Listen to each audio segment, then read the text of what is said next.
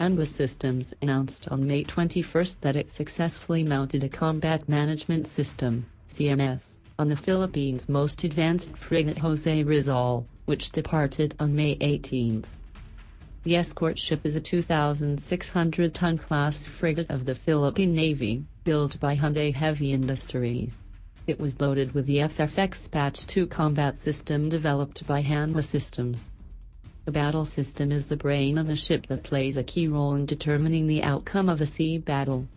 It is a weapon system for the integrated operation of various sensors, weapons, and other communication and command systems on a battleship. Hanwha Systems is currently developing a battle system for the next escort FFX-3.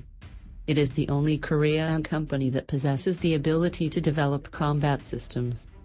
We have been supplying combat systems to over 80 battleships, including the Korea Navy's watercraft and submarines, over the past 40 years. We develop and mass-produce world-class advanced combat systems, a Hanwha Systems official said.